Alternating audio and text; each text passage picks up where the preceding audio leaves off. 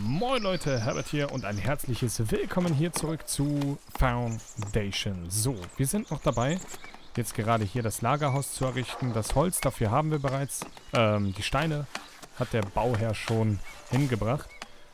Und ich dachte mir, es sieht eigentlich ganz cool aus, wenn das so ein bisschen im Wasser steht und so. Wir gucken mal, wie das fertig aussieht.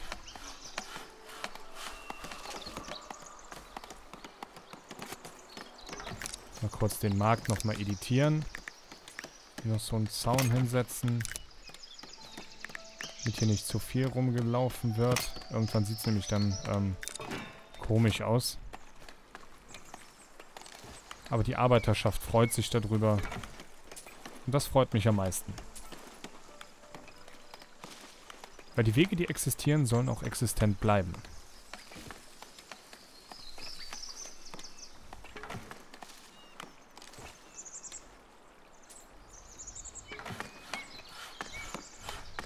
Genau, den Kauf werden wir nämlich jetzt erlauben. Und zwar den Kauf von Werkzeug. Wir haben nicht so viel Werkzeug. Noch können wir selber kein Werkzeug herstellen. Wenn wir es dann können, ist das natürlich super. So, wir werden aber jetzt einen Landstrich kaufen.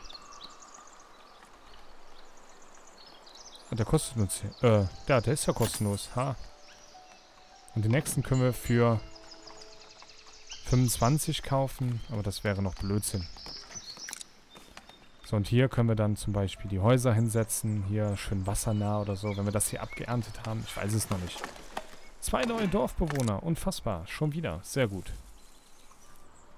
Die brauchen ja so ein bisschen, bis sie bei uns sind. Unser Territorium sieht übrigens von oben grandios aus. Also wir haben endlich... Ähm,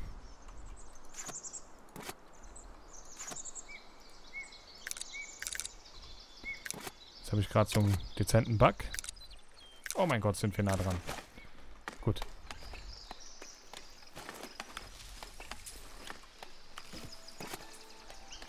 Das Lager steht. Das heißt, sie muss kein Holz mehr produzieren, bitte. So. Nun möchte ich da einmal Werkzeuge haben.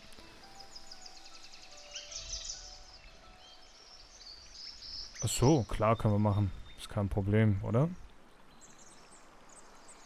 Dem Volk helfen.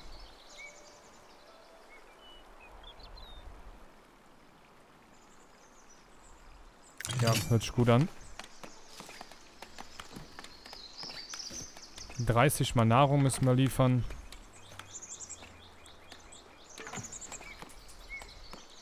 Und jetzt müssen wir hier drauf. Handelswaren.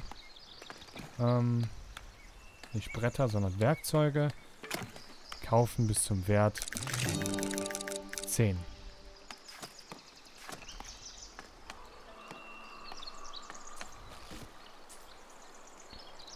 So, wir sollen 30 Bären liefern. Und wir müssen die Ware hier lagern. Genau, einmal annehmen die Ware bitte. Und da wir neue Leute haben, können wir jetzt den einen neuen hinzufügen, so gesehen, der da mitmacht. Dann können Leute noch Steine sammeln. Und einer noch Holz. Jeder beschäftigt. Keiner steht doof rum.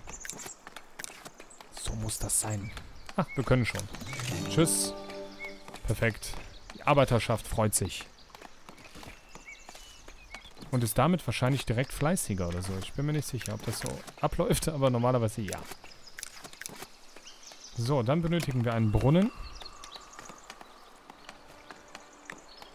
Den möchte ich vielleicht hierhin haben. Da passt er nämlich ganz gut optisch. So. Der braucht Holz und Stein, das ist nicht das Problem. Der Kollege ist ja schon dran, das geht ja schneller als man gucken kann. Wir können auch hier zwei Häuser hinmachen.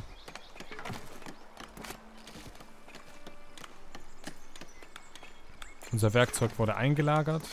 Das ist gut. Wir kaufen aber jetzt Ware bis zu dem Füllstand 20, dass wir immer 20 Werkzeuge parat haben. Und vielleicht funktioniert der Handel jetzt auch, dadurch, dass wir das so eingerichtet haben.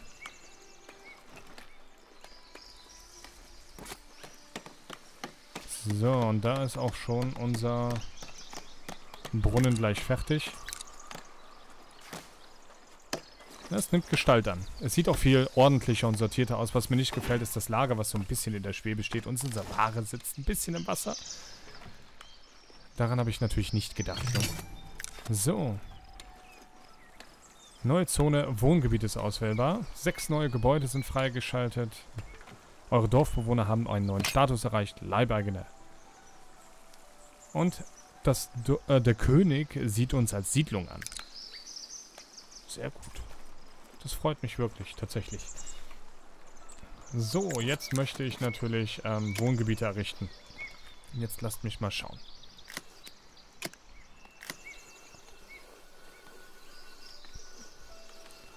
So, das Gebiet muss nicht mehr abgeholzt werden. Von daher können da eigentlich Wohngebiete entstehen. Dann machen wir die hier hin. So.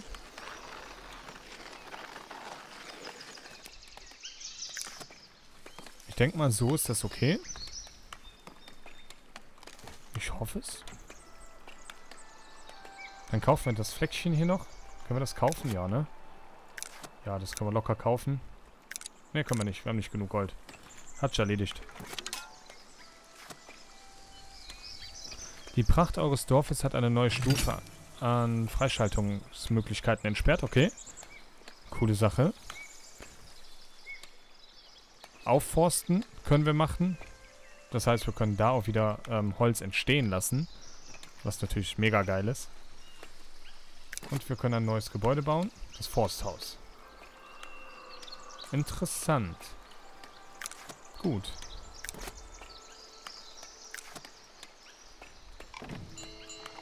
Zwei neue Dorfbewohner kommen. Ich weiß schon gar nicht mehr, wohin mit den Leuten. Wir haben fleißige Sammler. Wir haben fleißige im Steinbruch. Wir haben, glaube ich, mittlerweile drei Holzfäller tatsächlich. Einen Packer können wir noch gebrauchen. 20 Werkzeuge sind tatsächlich angekommen, was ich sehr gut finde. Unser Verkauf funktioniert auch super. Dadurch natürlich, fun ähm, es funktioniert natürlich nur aus einem Grund super, weil die Waren auch gekauft werden. Ne? Das muss man sich auch durch den Kopf gehen lassen. Weil wir hatten vorher nur acht Bewohner, wir haben mittlerweile zwölf, jetzt sind es gleich 14. Muss man sich einfach mal durch den Kopf gehen lassen. Das Stück hier bräuchten wir wirklich noch.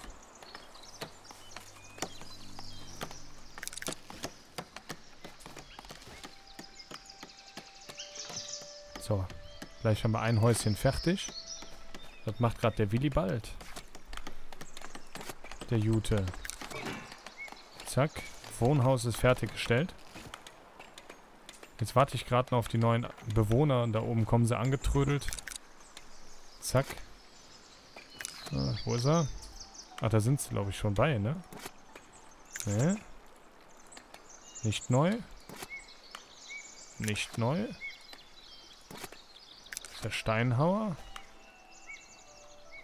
Sind die neuen denn schon da? Ich glaube, die sind immer noch nicht da. Nein.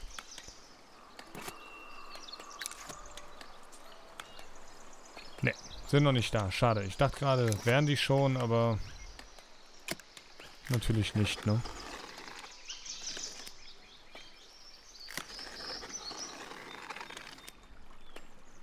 Wir können hier eigentlich noch ein Wohngebiet entstehen lassen. Hier ist ja jetzt Platz ohne Ende.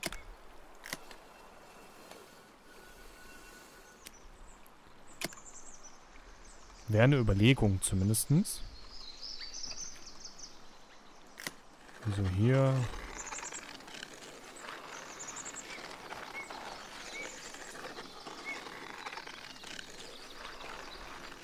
Hier so.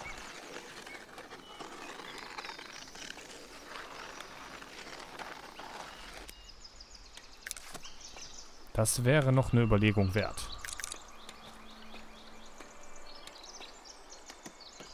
Zack, zack, zack. Na endlich. Jetzt bauen die Leute auch ihre Häuser. Irgendwann muss das ja passieren. Ah, da kommen auch die neuen Leute. Sehr gut. Darauf habe ich gewartet. So, das heißt, ihr könnt jetzt noch einer als Träger bitte arbeiten. Und der andere als Bauarbeiter. Bei Bauarbeiter haben wir eigentlich viel zu wenige.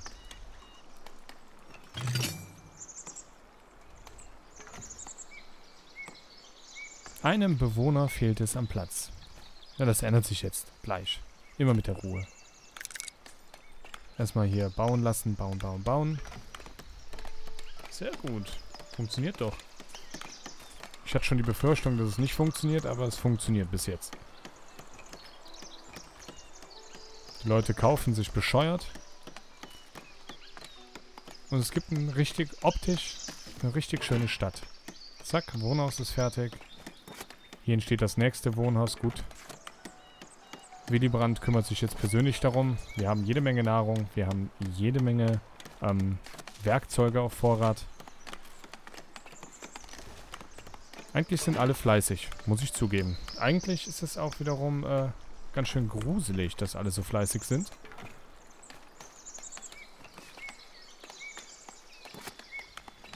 Wir haben einen hohen Umsatz. Und jetzt schauen wir mal ganz kurz nach in den Haushalt und wir verdienen. Sehr gut. Letzte Woche haben wir 51 verdient. Ähnlich müssen wir jetzt nochmal verdienen, damit sich das Ganze auch lohnt.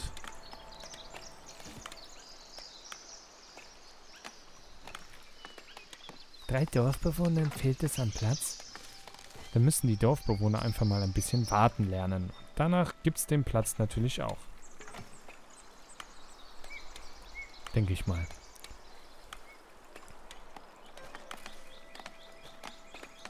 Die Leute können essen, die Leute können trinken. Es kommen zwei weitere Dorfbewohner. Wir müssen warten, bis wir 500 ähm, Gold eingenommen haben. Dann kann ich mich darum kümmern, dass wir hier ähm, das Landstück kaufen und hier Gebäude hinbauen können. Wobei ich schon überlegt habe, einfach hier eine Wohnfläche zu machen, wobei da auch wieder Abbaufläche entsteht. Ist noch tricky gerade.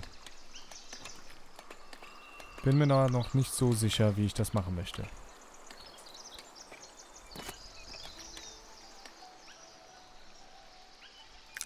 Wofür gibt es denn noch? Es gibt noch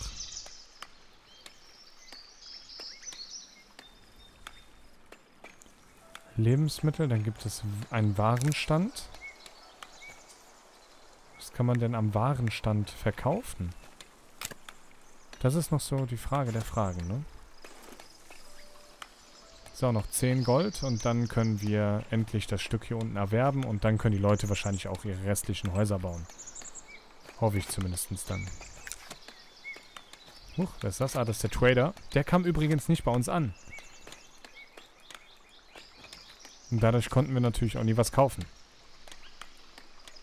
Von dem Trader. So, 500 Gold erreicht. Perfekt. Heißt, wir werden jetzt das Territorium kaufen. Den Landstrich. Zack. Und können jetzt hier ähm, Wohngebiet bisschen erweitern.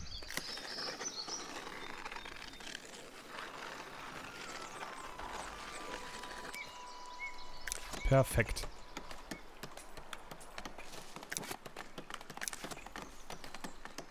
Zack, zack, zack, zack, zack. Das geht hier ratzi-fatzi mittlerweile.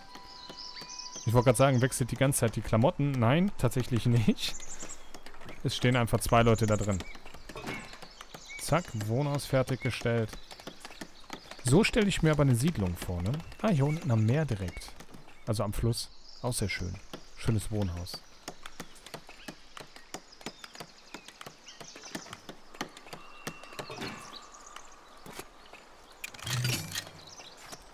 So, ich betreibe jetzt noch zwei Leute im Sägewerk. Warum ich das mache? Ganz einfach. Wir müssen ein bisschen ähm, Bretter auf Vorrat haben einfach. Ich weiß nicht, ähm, ob wir auf dem Handelsweg vielleicht ähm, Bretter verkaufen können.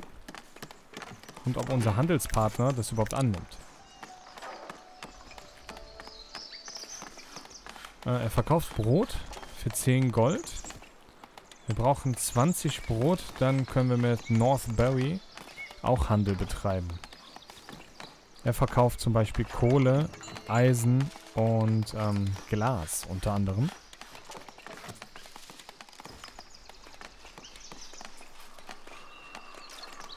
Hm.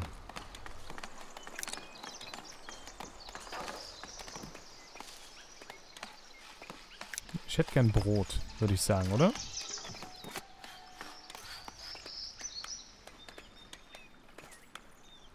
Ah, ne, komm. Nix.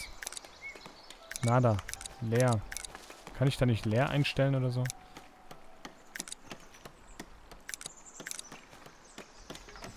Wir lassen einfach Brot da drin, so.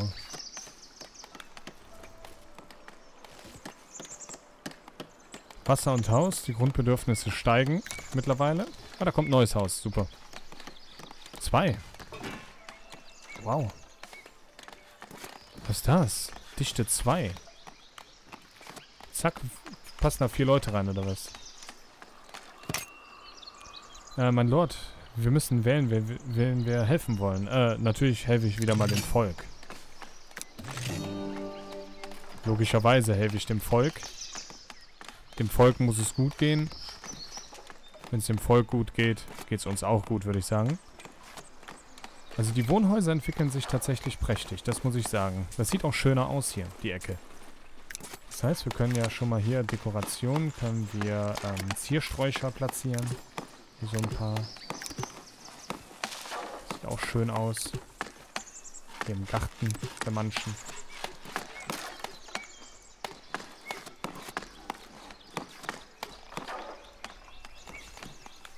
Hey, super, es funktioniert.